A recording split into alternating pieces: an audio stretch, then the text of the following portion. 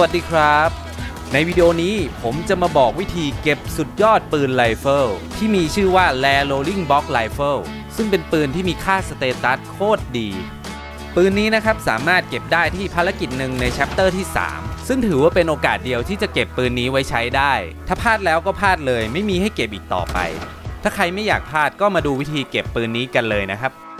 ภารกิจนี้จะอยู่ในช่วง chapter ที่ 3 ชื่อภารกิจว่า Magician for Sport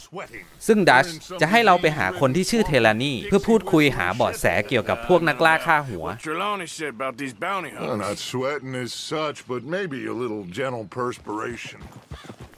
พอเรามาถึงคาราวานของเทเลนี่ ก็ไม่เจอกับตัวเทเลนี่ Fire outside. แต่ได้เจอกับร่องรอยการต่อสู้ภายในบ้านทำให้เราต้องสะกดรอยตามต่อไป That ain't good. Come on, before they get too far ahead.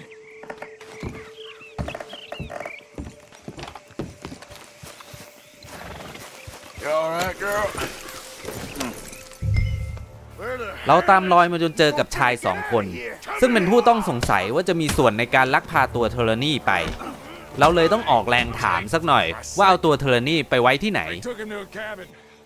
และเขาก็ยอมบอกที่อยู่ของเทเลนี่ คือกระท่อมในไร่ข้าวโพดคฤหาสน์เวสเวด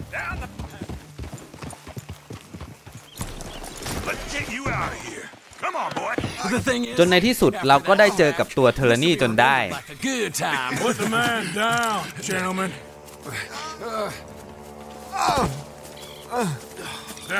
หลังจากพูดคุยทักทายกันเล็กน้อยนะครับ เราก็ต้องไปบู๊กันที่ไร่ข้าวโพดกันต่อนะครับ Be for much Look, longer. go get them, Arthur. I can handle this.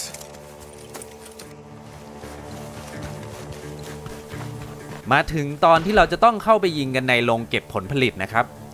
ช่วงนี้เป็นช่วงที่สำคัญเลยนะครับ เพราะข้างในเนี่ยจะมีปืนไรเฟิลที่เราตามหาอยู่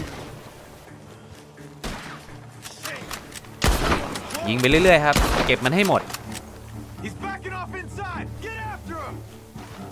แล้วก็เข้าไปข้างในได้เลย There he is. Take him out.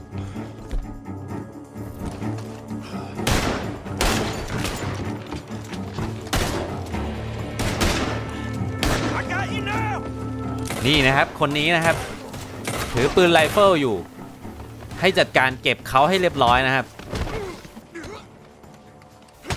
แล้วปืนไรเฟิลก็จะตกอยู่ตรงนี้นะครับ ให้เข้าไปกด L1 เก็บมาได้เลย นี่นะครับเก็บปืนมาเรียบร้อยแล้วครับแล Rolling Box Rifle status ปืนดีมาก ๆ นะครับ มาดูปืนกันชัด ๆ อีกทีนะครับ มีลายที่ปืนด้วยนะครับอย่างเท่เลย แล้วก็ดูที่ status ของปืนนะครับ ทั้ง damage แล้วก็ระยะการยิงรวมถึงความแม่นยำนะครับ ถือว่าสูงมาก ๆ เลย และที่สำคัญครับ ฟรีครับ เอามาใช้ได้ฟรีๆ ก็อย่าลืมเก็บมาไว้ใช้กันนะครับ เป็นยังไงกันบ้างครับ กับวิธีเก็บสุดยอดปืนไรเฟิลที่ไม่ควรพลาด ถ้าใครเอาไปใช้แล้ว work ไม่ work ยังไงก็มาพูดคุยบอกเล่ากันได้ ถ้าถูกใจก็อย่าลืมกดไลค์และกด Subscribe เพื่อติดตามวิดีโอแนะนำเทคนิคและทริคดีๆ จากเกมใหม่ ๆ ได้ที่ช anel นี้เลยครับ